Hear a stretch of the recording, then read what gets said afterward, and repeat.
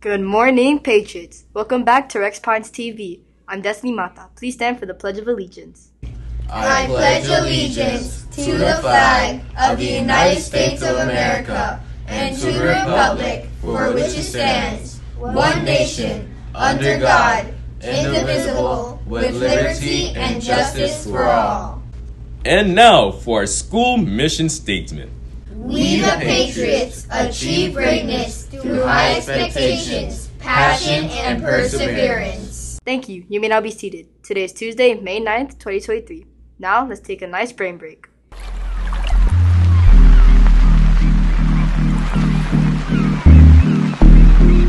You breathe in through your nose. And then you hold that breath. When he goes down, you breathe out gently through your mouth. And hold again. Great. This time, let's do it together. Breathe in. And hold. And then breathe out. And hold again.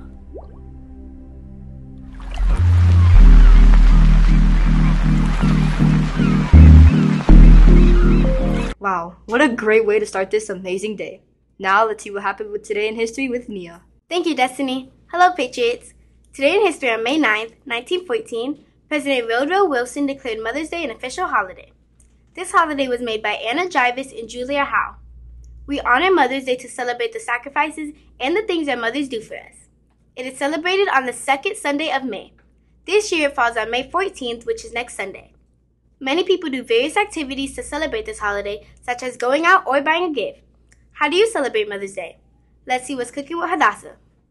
Thank you, Nia. Today's lunch is beef nacho and cheese, mild salsa, turkey ham sandwich, corn, lettuce and tomato, pineapple tidbits, and your toast milk. And tomorrow's breakfast is bagel and cream cheese, graham crackers, fresh banana, assorted cereal, and your toast milk. Students, keep in mind lunch can change at any time, and to always bring your lunch card. Don't forget to let teachers know if you'll be receiving lunch today. Bon appetit! Now let's go back to Destiny. Thank you, Hadassah. Students, this quarter's instructional software challenge is ending on June 2nd, so make sure to check the flyer for the requirements and keep getting those lessons done. The state testing season is continuing today with 5th and 8th grade taking their FCAT science test. Good luck! Our cell phone policies are still in place. It is important to make sure you have your phone shut down and in your backpacks at all times. And also, don't forget you are not allowed to chew gum in school. Make sure to spit it out before you enter the building. On May 23rd at 6 p.m., our Performing Arts Department will be presenting the Spring Music Concert. It is $5 cash at the door per person to get in, and all funds will be donated to the music department. You won't want to miss it. The lip sync battle is also coming up and will be hosted by the Pines cheerleaders next week, May 18th at 6:30 p.m. Pre-sales are available now on MySchoolBucks. I can't wait for these shows. Pre-sales for the yearbook are now on sale on myschoolbucks.com for $35 and are available now. Prices will go up to $45 after May 12th, so make sure to steal this deal while you can. Students, the Patriot Store is open every morning and closes at 7:55. Tomorrow is the 5th and 6th graders' turn to shop. Let's keep racking up those points, Patriots. This week is Teacher Appreciation Week. Make sure to get your teacher a small card or gift if you can. Now, let's see what the weather looks like today with Melanie. Thank you, Destiny. For today's weather, you can expect a nice 84 degrees Fahrenheit with partly cloudy skies. It sounds like a nice day to go outside.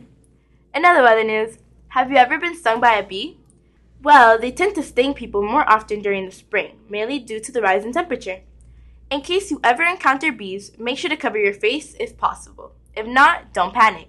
Make sure to get indoors as quick as possible, and if you can't, don't jump into the water unless you want the bees' crews to be waiting above the water.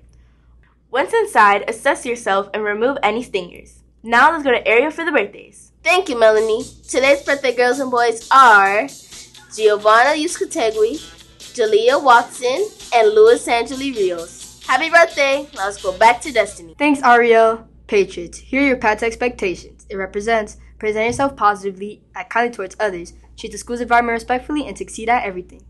Congrats to Miss Arnold, Miss Sheriff, and Miss Gregg. You all got the correct answer to yesterday's daily challenge, which was what are worker bees, male or female? The correct answer was female. Now for today's daily challenge. Daily Challenge.